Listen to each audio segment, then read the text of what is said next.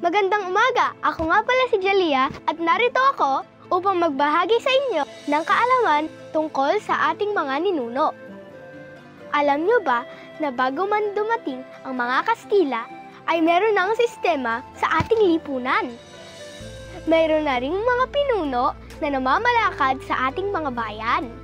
Dato o raha ang mga pinuno ng barangay. Sultan naman ang mga pinuno sa mga sultanato na mas malaki sa mga barangay.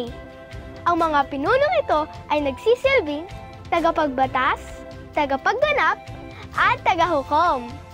Sa lipunan ng ating katutubo ay may iba't ibang antas sa lipunan. Ito ay nahahati sa tatlo, Maharlika, Imawa, at Alipin. Maharlika ang pinakamataas na katayuan dahil sila ang may pinakamarangyang buhay at maraming ari-arian. Nababilang sa kanila ang mga datu, raha at sultan. Marami silang karapatan na tinatamasa, tulad ng hindi pagbabayad sa buwis. Ang pangalawang antas naman ay ang timawa or malaya. Ang karaniwang sa kanila ay mga ngalakal, mangingisda, magsasaka, at iba pang karaniwang na panggagawa. At ang pinakamababang uri naman ay ang alipin.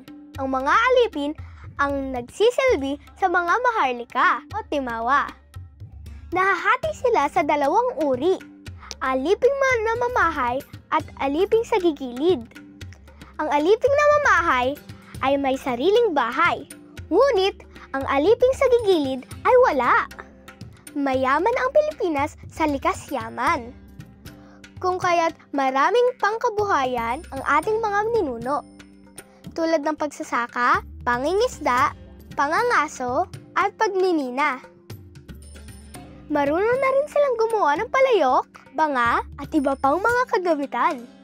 Bago dumating ang mga Kastila, marami din tayong mga paniniwala tungkol sa relihiyon at pagsamba. Ang mga paniniwala ng ating mga ninuno ay ang Diyos na si Bathala at marami pa silang sinasamba sa kalikasan gaya ng araw, buwan at bituin. Bukod sa mga paniniwala, meron din tayong sariling paraan ng pag-aaral. Ang mga lalaki ay tinuturuan upang maging magdirigma, mangangaso, magsasaka o mangingisda. Ang mga kababaihan naman ay hinahanda upang maging may bahay at kailangang masanay magluto, manahi at maghabi. Nagkaroon din tayo ng pamamaraan ng pagbabasa at pagsulat na tinatawag na baybayin. Nakakahanga ang ating mga ninuno, di ba? Kayang-kaya nilang itaguyod ang ating bansa. Mayaman tayo sa kultura, dapat nating pagmalaki saan man tayo magpunta. Salamat sa pakikinig. Sana ay marami kayong matutunan. Paalam!